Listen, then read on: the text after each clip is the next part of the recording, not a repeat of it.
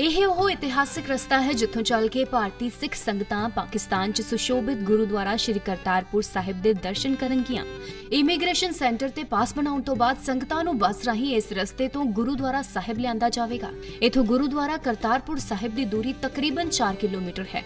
ਇਥੋਂ ਗੁਰਦੁਆਰਾ ਸਾਹਿਬ ਦੀ ਇਮਾਰਤ ਬਿਲਕੁਲ ਸਾਫ਼ ਦਿਖਾਈ ਦਿੰਦੀ ਹੈ। ਰੋਡ ਦੇ ਕਿਨਾਰਿਆਂ ਤੇ ਪੈਦਲ ਜਾਣ ਵਾਲੀਆਂ ਸੰਗਤਾਂ ਲਈ ਲੌਕ ਟਾਈਲ ਵਾਲਾ ਰਸਤਾ ਵੀ ਬਣਾਇਆ ਗਿਆ। ਰੋਡ ਦੇ ਦੋਵਾਂ ਪਾਸਿਆਂ ਤੇ ਕੰਡਿਆਲੀ ਤਾਰ ਲਗਾਈ ਗਈ ਹੈ।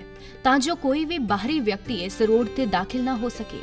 ਤੁਹਾਨੂੰ ਇਹ ਵੀ ਦੱਸ ਦਈਏ ਕਿ ਪਾਕਿਸਤਾਨੀ ਆਮ ਨਾਗਰਿਕਾਂ ਨੂੰ ਵੀ ਇਸ ਰੋਡ ਤੇ ਆਉਣ ਦੀ ਮਨਾਹੀ ਹੈ। 4 ਕਿਲੋਮੀਟਰ ਸੜਕ ਪਾਰ ਕਰਨ ਤੋਂ ਬਾਅਦ ਸੰਗਤਾਂ ਬੱਸ ਤੋਂ ਉਤਰ ਕੇ ਇਸ ਰਸਤੇ ਰਾਹੀਂ ਗੁਰਦੁਆਰਾ ਸਾਹਿਬ ਦੇ ਅੰਦਰ ਦਾਖਲ ਹੋਣਗੀਆਂ। ਇਸ ਗੈਲਰੀ ਦੇ ਬਿਲਕੁਲ ਸਾਹਮਣੇ ਤੇ ਗੁਰਦੁਆਰਾ ਸਾਹਿਬ ਦੇ ਐਨ ਵਿਚਕਾਰ ਦਰਬਾਰ ਸਾਹਿਬ ਹੈ। ਇਸੇ ਗੈਲਰੀ 'ਚ ਦੁਕਾਨਾਂ ਵੀ ਲਾਈਆਂ ਜਾਣਗੀਆਂ, ਜਿੱਥੋਂ ਸੰਗਤਾਂ ਖਰੀਦਦਾਰੀ ਵੀ ਕਰ ਸਕਦੀਆਂ ਨੇ। ਹੁਣ ਤੁਹਾਨੂੰ ਗੁਰਦੁਆਰਾ ਸਾਹਿਬ ਦੇ ਅੰਦਰ ਦਾ ਦ੍ਰਿਸ਼ ਦਿਖਾਉਂਦੇ ਆ ਜਿੱਥੇ ਬਿਲਕੁਲ ਵਿਚਕਾਰ ਦਰਬਾਰ ਸਾਹਿਬ ਹੈ। ਇਸ ਤੋਂ ਥੋੜਾ ਪਿੱਛੇ ਲੰਗਰ ਹਾਲ ਤੇ ਸਰੋਵਰ ਵੀ ਹੈ, ਜਿਸ ਜਗ੍ਹਾ ਤੇ ਪਹਿਲਾਂ ਕੇਵਲ ਹਰੇ ਭਰੇ ਖੇਤ ਹੀ ਦਿਖਾਈ ਦਿੰਦੇ ਸਨ।